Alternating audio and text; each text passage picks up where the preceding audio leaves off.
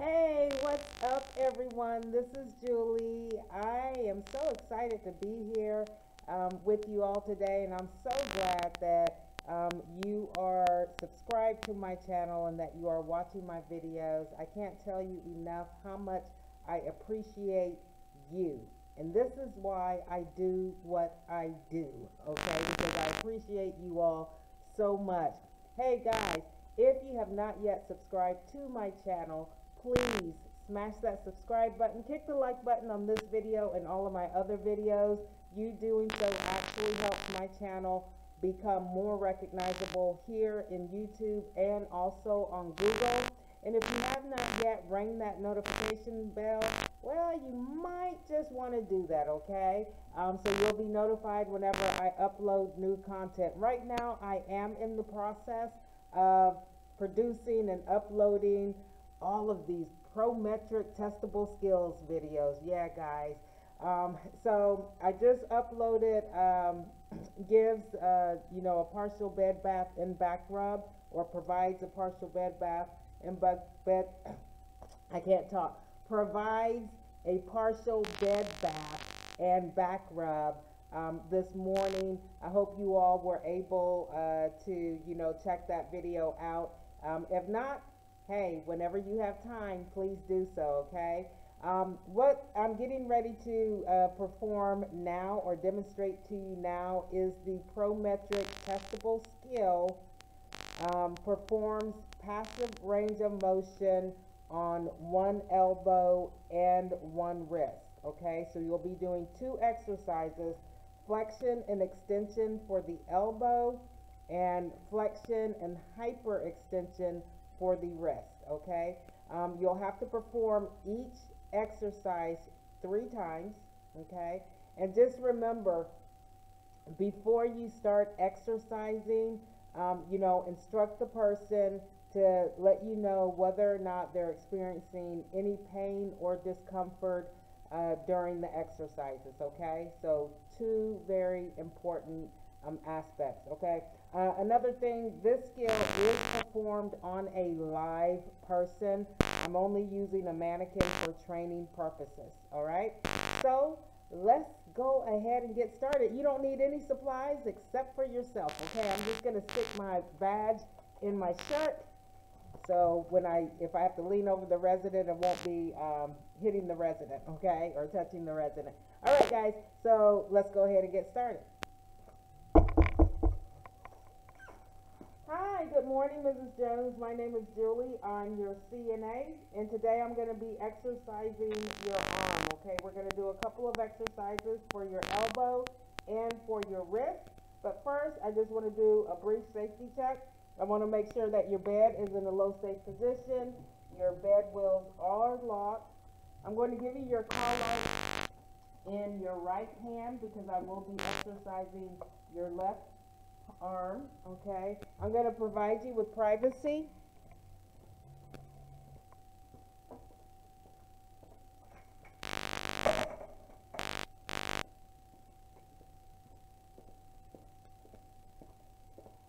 And now I'm going to wash my hands and I'll be right back. All right. Guys, I'm sorry. I'm using my Pivo, so if it loses track of me, I apologize, okay? So I'm washing my hands. And now I'm back. Hi, Mrs. Jones. It's me, Julie, your CNA. I am back, and we're going to get started on these exercises. Now, during testing, you are going to be given a scenario card, okay? And all the skills that you are going to be required to perform will be typed on the scenario card, all right? So you have to pay really close attention um, in, in regards to what arm it tells you you need to perform this exercise on, okay? So for right now, I'm just going to perform it on her left arm, but I just wanted to let you all know that you have to be really, really careful, okay? Um, reading your scenario cards, all right? All right, Mrs. Jones, so the first exercise that um, I'm going to do is I'm just going to uh, bend your arm towards you and then bring it back down, okay? And I'm going to perform this exercise three times. If at any time you're feeling any pain or discomfort during the exercises, please let me know. I'll stop and I'll go get the nurse, okay? All right. So, you'll want to support underneath the elbow joint and the wrist joint, okay? And what you're going to do is you're going to bend the elbow. You don't have to lift the elbow off of the bed or the arm off the bed, but you're going to bend it up towards the person. Now, keep in mind, this is performed on a live person. So when you're actually performing the skill on a live person, when you bend that person's elbow, right, you want their hand uh, to reach their shoulder, okay? This is a mannequin, so it's not going to. She's very limited on her, uh, you know, how far she can move her joints, okay? But for the live person, you want to make sure that you bend their arm um, all the way up to their shoulder, okay? Just like this, all right? All right. All right, Mrs. Jones, you ready? Here we go. One. You feeling okay? All right. Two. And three. Job, Mrs. Jones. You feeling okay? Any pain or discomfort? All right, awesome. Now I'm going to exercise your wrist, okay? And I'm just going to um, bend your wrist forward and bend it backwards, okay? Again, if at any time, if you're feeling any pain or discomfort, just let me know. Okay. So now what I'm going to do is I'm going to support Mrs. Jones's um, wrist joint underneath, okay? And I'm just going to hold her hands, put my other hand over her hand. I'm going to bend her wrist forward, and then I'm going to hyper extend it backwards. Okay? You feeling okay, Mrs. Jones? All right. So I'm going to flex forward and then hyperextend backwards. Feeling okay? Awesome. And then flex forward and hyperextend backwards. All right, Mrs. Jones, that is it. Are you feeling, are you still feeling okay? No pain, no discomfort? Awesome. All right, Mrs. Jones, so I'm just going to do a brief safety check. Bed is still in a low safe position. Bed wheels are locked. You still have your call light within reach. Privacy is maintained. Washing hands. And then I'm going to wait a couple of seconds, right, before I say skill complete because I want to make sure I did not omit any steps, or I did not perform any steps incorrectly. Again, there are no limitations to how many self-corrections you can make. But as long as you make them before you state skill complete, and as long as you still have time remaining on your test, okay? So I think I did everything okay. Um, I'm gonna wash my hands, skill complete. Yay!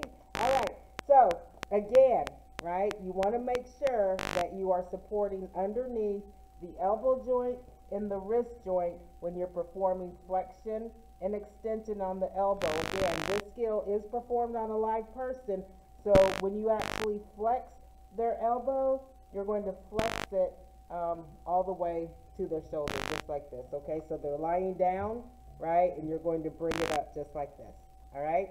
And then with the wrist, exercise, the flexion and hyperextension, just make sure you're supporting underneath the wrist joint. The best way or easiest way for me to do this is just to place my hand on top of the person's hand and then, uh, you know, flex it forward and then hyperextend it backwards, just like this. All right? Okay. Um, another important element, please, please, please, before you start the skill, instruct the resident uh, to let you know whether or not they feel any pain or discomfort um, during any of the exercises, okay? And you see, as I did, um, I was saying it throughout the skill, right? Okay, so you might want to do that also. All right, guys, that's it. Um, that was performed passive range of motion for one elbow and one wrist.